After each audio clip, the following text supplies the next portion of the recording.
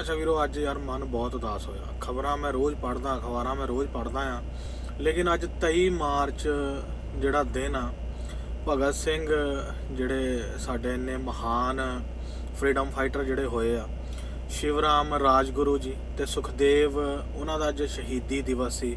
ਕੋਈ ਅਖਬਾਰ, ਕੋਈ ਜਗ੍ਹਾ ਤੇ ਮੈਂ ਖਬਰ ਹੀ ਨਹੀਂ ਦੇਖੀ। ਮੇਰਾ ਮਨ ਬਹੁਤ ਉਦਾਸ ਹੋਇਆ ਯਾਰ।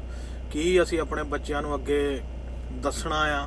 ਐਡੇ ਐਡੇ ਇਹ ਯੋਧੇ ਜਿਨ੍ਹਾਂ ਨੇ ਸਾਡੇ ਕਰਕੇ ਆਪਣਾ ਜਿਹੜਾ ਉਹ ਜੀਵਨ ਬਲੀਦਾਨ ਦੇ ਦਿੱਤਾ। ਐਡੇ ਐਡੇ ਇਹ ਸੂਰਮੇ ਤਾਂ ਇਹਨਾਂ ਦੇ ਬਾਰੇ ਯਾਰ ਅੱਜ ਕੋਈ ਖਬਰ ਹੀ ਹੈ ਨਹੀਂ। ਨਾ ਮੈਂ ਕਿਸੇ ਦਾ ਕੋਈ ਸਟੇਟਸ ਦੇਖਿਆ, ਨਾ ਮੈਂ ਲੋਕਾਂ ਨੂੰ ਮਤਲਬ ਕਿ ਕੋਈ ਸ਼ੇਅਰ ਕਰਦੇ ਦੇਖਿਆ। ਯਾਰ ਬਹੁਤ ਮਨ, ਮੈਂ ਜਿਹੜਾ ਨਾ ਉਹ ਜੋਸ਼ ਦੇ ਵਿੱਚ ਹਮੇਸ਼ਾ ਵੀਡੀਓ ਬਣਾਉਣਾ ਹੁੰਦਾ ਆ ਲੇਕਿਨ ਅੱਜ ਜਦੋਂ ਮੈਂ ਦੇਖਿਆ, ਮੈਂ ਕਿਹਾ ਵੇਟ ਕਰਦੇ ਆ ਦੇਖਦੇ ਆ ਹੁਣ ਤਾਂ ਇੰਡੀਆ ਵੀ ਇੰਨਾ ਟਾਈਮ ਹੋ ਗਿਆ, ਕਿਤੇ ਕੋਈ ਨਾਮੋ ਨਹੀਂ ਛੁੱਟੀ ਯਾਦ ਆ ਬਸ।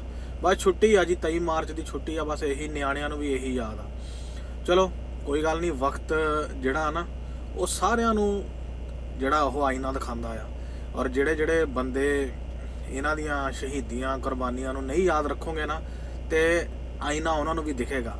ਇਹ ਗੱਲ ਪੱਕੀ ਆ ਔਰ 100% ਸੋ ਅੱਜ 23 ਮਾਰਚ ਆ, ਤੇ ਮੈਂ ਤਾਂ ਹੁਣ ਮਤਲਬ ਕਿ ਕਹਿਣਾ ਵੀ ਨਹੀਂ ਚਾਹੁੰਦਾ ਕਿਸੇ ਨੂੰ।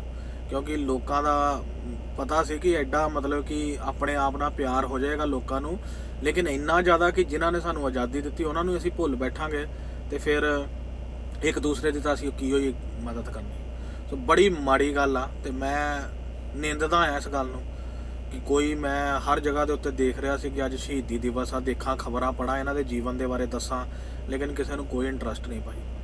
ਚਲੋ ਕੋਈ ਗੱਲ ਨਹੀਂ, ਜਿੱਦਾਂ ਅਸੀਂ ਇੰਟਰਸਟ ਨਹੀਂ ਦਿੰਦੇ ਕੱਲ ਨੂੰ ਸਮੇਂ ਨੇ ਫਿਰ ਸਾਡੇ 'ਚ ਇੰਟਰਸਟ ਨਹੀਂ ਦੇਣਾ ਔਰ ਇਹ ਹੋ ਕੇ ਰਹੇਗਾ। ਇਹ ਚੀਜ਼ਾਂ ਦਾ ਖਿਆਲ ਰੱਖਿਆ ਕਰੋ। ਇਹ ਟਿਟ ਫॉर ਟੈਟ ਇੰਗਲਿਸ਼ ਦੀ ਕਹਾਵਤ ਆ, ਹੁੰਦਾ ਜ਼ਰੂਰ ਆ।